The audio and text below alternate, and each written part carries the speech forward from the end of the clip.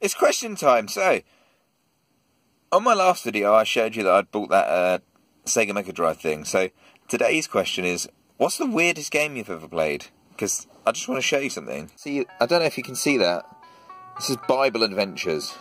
Now, I don't remember this being a Sega Mega Drive game. So, what are we playing? Moses Wars.